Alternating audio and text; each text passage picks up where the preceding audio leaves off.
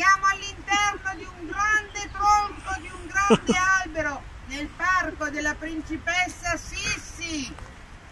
E noi siamo qui per registrare questa puntata speciale dedicata alla montagna che vi farà vedere un sacco di cose meravigliose, animali, piante, fiori e chissà quante altre cose ancora. Ciao Giovanni! E brava la nostra Daniela che appare dal nulla nel mezzo del giardino di Sissi e noi intanto continuiamo a camminare nei boschi narrativi perché nei boschi delle fiabe puoi trovare talvolta dei curiosi personaggi e quindi andiamo a vedere cosa ci riserva questa straordinaria boschiva puntata di Radio 1.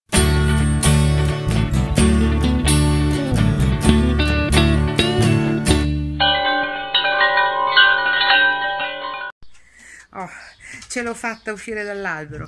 Finalmente perché voglio raccontarvi una storia che ho imparato camminando nei boschi della Varridanna qui in Alto Adige, una storia che si raccontava tanti tanti anni fa e che spaventava i bambini della valle. Parla di mostri, di mostri particolari, io non voglio farvi spaventare, voglio solo che voi capiate dove mi trovo e in questo ambiente oltretutto meraviglioso che vedete alle mie spalle, un ambiente ricco, ricchissimo di fiori, di alberi, di montagne, fantastico.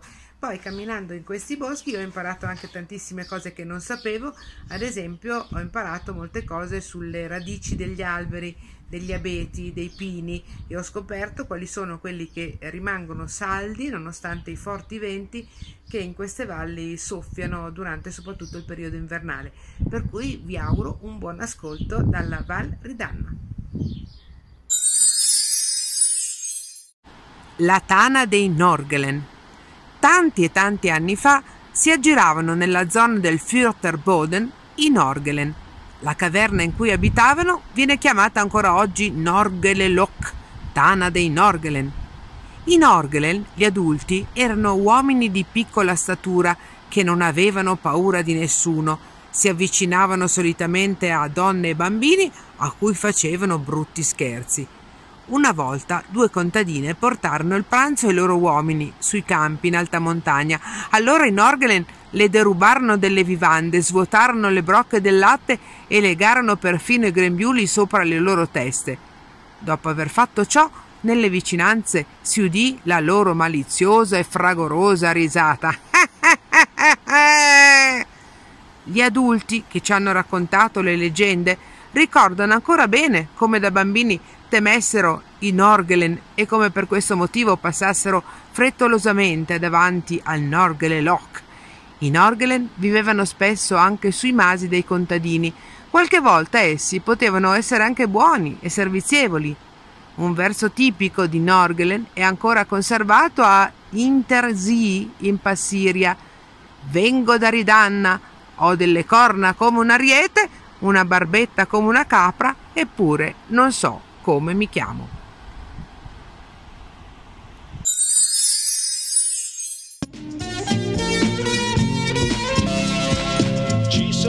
Boschi da merenda e passeggiata, tutti pieni di delizie e di frescura.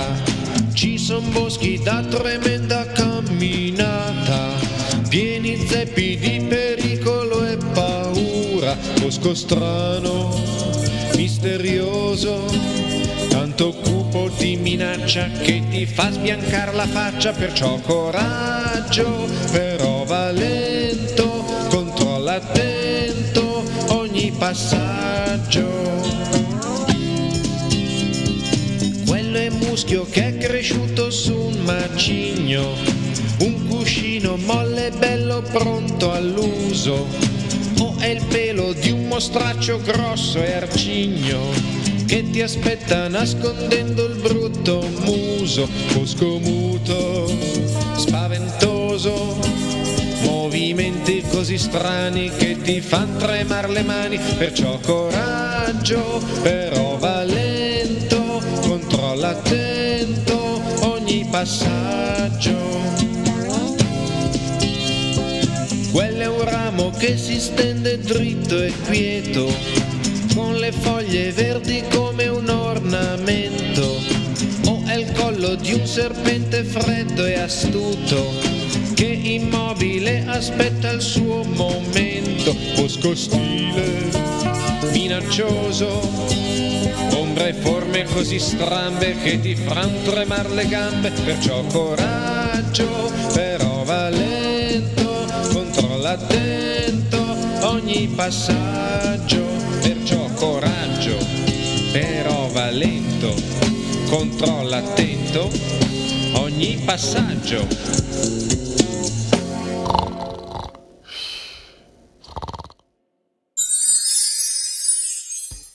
Passeggiando sempre nel bosco di Sissi, qui a Ridanna, Mareta, in Val Ridanna, ho scoperto come sono fatte le radici degli alberi. Guardate un po', abbiamo le radici dell'abete bianco che si infittiscono e entrano nel terreno, poi le radici dell'abete rosso che sono più in superficie e le radici dell'arice.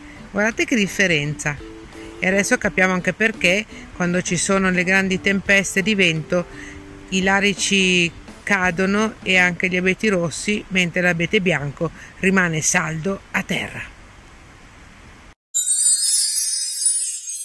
Dal libro Tante storie di orchi, folletti, troll e trolla putrella vi racconto una storia che non è quella di trolla putrella, ma quella del fungo gigante. Cosa succede con il fungo gigante? Accade che Troll, troll, troll. Chi arriva trollando giù per la montagna Narda? La famiglia Troll al gran completo. Mamma trolla, papà trollone, trollino e trollina vanno a caccia di funghi. La famiglia Troll è composta da troll grandi più o meno come noi, ma non sono mica tanto uguali a noi. Hanno un bel testone, un grosso nasone e una coda pelosa ciascuno so che anche a voi piacerebbe molto avere una coda pelosa, ma niente da fare, miei cari. Dovevate nascere troll, o al massimo gatti. Trollando, trollando, la famiglia troll si aggira fra gli alberi finché si imbatte in un fungo enorme, grande quanto una casa. Eccolo qua. Uh, quanto è grosso. E ai troll piace molto sgranocchiare i sassi come aperitivo, ma poi mangiano anche cortecce, funghi, frutti e bacche. Mangiamolo, mangiamolo, mangiamolo, dicono Trollino e Trollina, i due piccoli troll. Badaboom, proprio in quel momento scoppia un temporale e inizia a piovere. Guardiamo qui, ecco qui il temporale e la pioggia. Incredibile. Wow, fungone. Tutta la famiglia troll si rifugia sotto il grande fungo che col suo grosso ombrello li tiene al riparo dall'acqua. Ma Trollino e Trollina hanno fame Mangiamolo, mangiamolo, mangiamolo, strillano. Eccoli qui, tutti sotto appassionatamente al eh, fungone gigante. No, dicono Trolla e Trollone, se lo mangiamo poi ci bagniamo tutti e ci viene raffreddore. Mangiamolo, mangiamolo, mangiamolo, ribattono Trollina e Trollino. No, rispondono Trolla e Trollone, se lo mangiamo dopo ci raffreddiamo. Mangiamolo, mangiamolo, mangiamolo, ripetono Trollina e Trollino. No, rispondono trolla e trollone. Se lo mangiamo ci bagna... Troll, troll, troll. Troppo tardi. Con i loro dentini affamati, trollino e trollina hanno cominciato velocissimi a mangiare il fungo. Non piove più e anche mamma e papà troll si mettono a mangiare di gusto. Troll, troll, troll. Mangiamolo, mangiamolo, mangiamolo. Grazie a Febe Sillani e i suoi bellissimi disegni per questa storia del fungo gigante.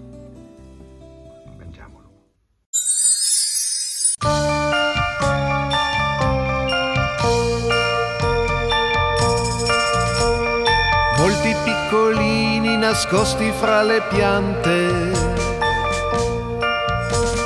Uomini piccini con una barba grande. Piccolo corteo che sulle foglie pesta, li chiamano gnomi, omini di foresta. E questo è il nostro posto, e come è ci piace, ci piace questo bosco, lasciatecelo in pace.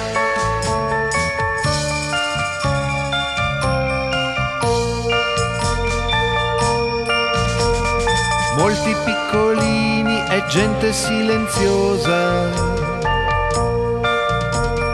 Uomini piccini con le guancette rosa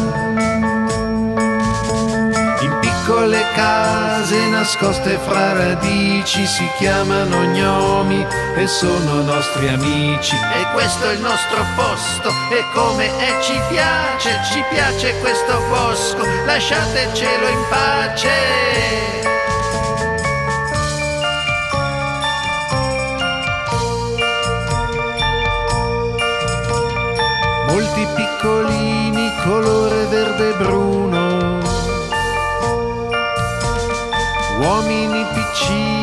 Passano uno a uno. Passano leggeri fra il muschio e le ghiande, molti piccolini son più di uno grande. E questo è il nostro posto, e come e ci piace, ci piace questo bosco, lasciatecelo in pace.